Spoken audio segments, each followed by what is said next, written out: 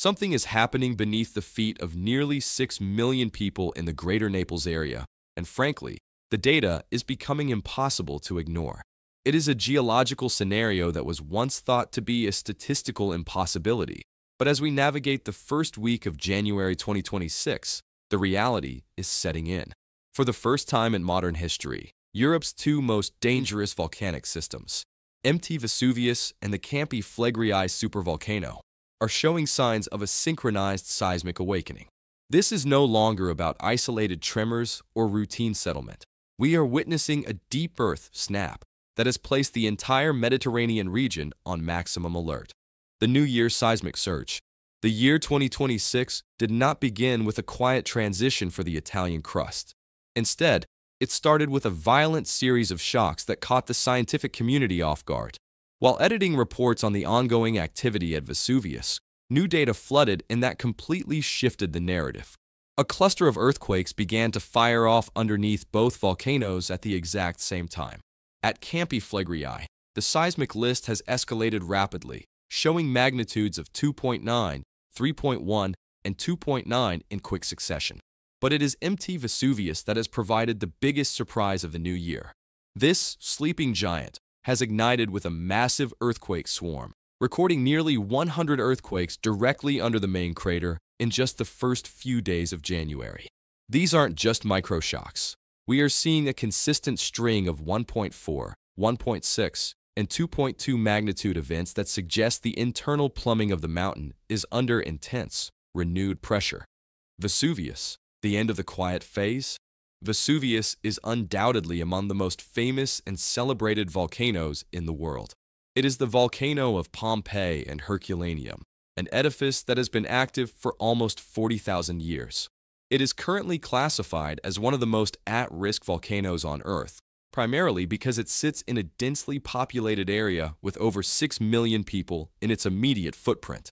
Following its last major eruption in 1944, which occurred during the height of World War II, Vesuvius entered what scientists call a quiet phase. For decades, the conduit was blocked by lava from previous eruptions, and the volcano was characterized by low seismicity and minor fumarolic activity. Historically, the small earthquakes we saw were labeled as settlement earthquakes, plainly, the result of the mountain sugarcoating the cooling reality. and contracting under Naples area is gravitational forces. sitting on a- A However, new scientific report has confirmed what Italy's monitors fear. suggests a The ground fundamental shift in that The study, narrative. published the ground in Science, subsidence, with the help of AI, the ground that analyzed years of high-resolution cooling, quiet volcano, actually ceased over a year ago. Now, the focus is on the Grand Cono area, where the current earthquake swarm is centered. There is a growing chance that these tremors are not just rocks settling, but are volcanic tectonic in origin. This implies a microfragmentation of the rocks caused by fluids, magmatic or hydrothermal, pushing their way up from the deep mantle. The magmatic system could be warming up again, indicating that the quiet phase is officially over. Campi Flegrei, the supervolcano threat.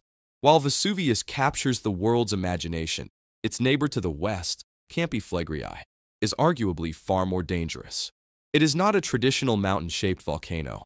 It is a supervolcano, a massive caldera system where the city of Pozzuoli and parts of Naples are built directly inside the crater. While the ground at Vesuvius has stopped sinking, the ground at Campi Flegrei is rising. This phenomenon, known as bradyseism, has been escalating for years, but the current 3.1 magnitude tremors are a clear indicator that the pressure within the hydrothermal system is reaching a critical threshold. Scientists have warned that we must now estimate the risk of a phreatic eruption, an explosion of superheated steam and rock, occurring with absolutely no warning. For the people living directly on top of this caldera, the threat is no longer a future possibility. It is an immediate seismic reality. The Magma Highway Connection. Perhaps the most terrifying aspect of the January 2026 data is what it implies about the relationship between these two giants. Historically, scientists thought Vesuvius and Campi Flegrei were independent systems. However, the fact that they are now firing off earthquake swarms and synchronization suggests they are connected in a way we are only just beginning to understand. They appear to be linked by a deep-seated magmatic plumbing system, a magma highway in the mantle. When one system experiences a shift in pressure, it transmits that energy to the other.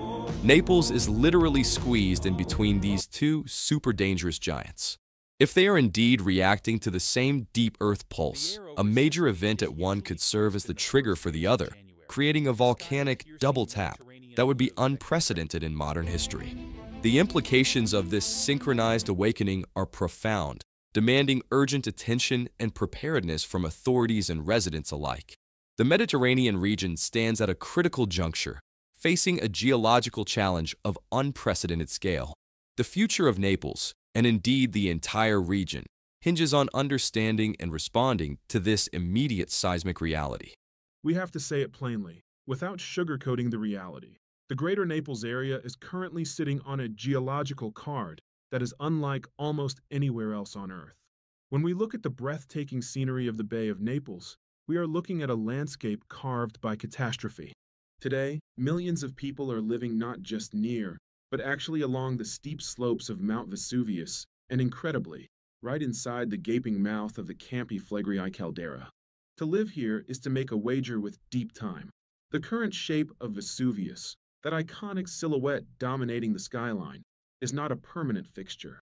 It is merely the temporary result of thousands of years of violent, explosive eruptions that tear the mountain down and build it back up again. Its history is characterized by what geologists call plinian events. These aren't just lava flows. These are massive, vertical explosions that send columns of superheated ash, pumice, and gas miles into the stratosphere, turning day into night and blotting out the sun. But the ash falling from the sky isn't the only killer. The true terror of Vesuvius lies in the pyroclastic flows. These are avalanches of gas and rock, hotter than an industrial oven, moving at hundreds of miles per hour. They don't flow like water, they surge like a hurricane of fire, obliterating everything in their path. We look back at history for context. The 1906 eruption was the most energetic of the 20th century, reshaping the summit and devastating local towns. Then came March 1944. That was the last time the world saw Vesuvius truly roar, occurring right in the middle of the Second World War. We have footage of Allied soldiers dusting ash off their bombers. But we have to realize those eruptions occurred when the city was a different creature. It was smaller, less dense, less vertical. Today, the situation is radically different. A synchronized eruption of Vesuvius, or a major event at Campi Flegrei, would be a humanitarian catastrophe of unfathomable scale. We aren't talking about evacuating a few villages anymore. We are talking about a metropolis, the density of the population in the designated red zones is terrifying. These are areas where survival depends entirely on leaving before the eruption peaks. This means an evacuation would involve millions of people moving through a constrained infrastructure in a matter of days, perhaps even hours. Imagine the traffic bottlenecks. Imagine the panic. It is a logistical feat that has never been successfully tested under the pressure of a real, imminent eruption. We have plans on paper, but nature rarely follows our scripts. And while Vesuvius towers above, the Campi Flegrei, the burning fields, lurks below. This isn't a mountain. It's a supervolcano depression, a caldera that spans miles. People live, work, and sleep directly on top of the lid of this pressure cooker. The ground here breathes. It rises and falls in a phenomenon known as bradyseism. But lately, that breathing has become ragged. It has become rapid. The Earth is moving, and it is moving beneath Italy with a frequency and intensity we haven't seen in decades. We are witnessing a shift. The respectably large cluster of over 100 earthquakes recently detected at Vesuvius, combined with the escalating, relentless swarms at Campi Flegrei, tells us that the rules have changed. These two systems are distinct, yet they share the same crustal neighborhood. When one moves, the other feels the stress. Whether this seismic chatter leads to an immediate eruption or represents a long term, decades long buildup of pressure, one thing is undeniable. The situation is unusual and strange. Seismologists are seeing patterns that don't fit the quiet baseline of the last 40 years. Magma chambers are refilling, fluids are migrating through the rock, and the crust is cracking under the strain. We are watching a living planet in a state. This creates what we are calling the Naples squeeze. Pressure from the east at Vesuvius, pressure from the west at Campi Flegrei, and millions of people caught in the middle. The indomitable energy of the Italian crust is a stark reminder that we are merely guests on its surface. We build our concrete cities and pave our roads, but the geology beneath us is ancient, restless, and indifferent to our schedules. We are not here to fearmonger, but to bear witness. We will continue to monitor the Grand Cono of Vesuvius. We will watch the ground deformation sensors at Campi Flegrei to see how much the Earth has lifted, and we will keep you updated on every single snap in the crust. The fire below is starting to speak. It is whispering in tremors and groaning in uplifts. The question is no longer if it will shout, but when. Stay informed. Stay alert. Do not become complacent just because the mountain looks peaceful today.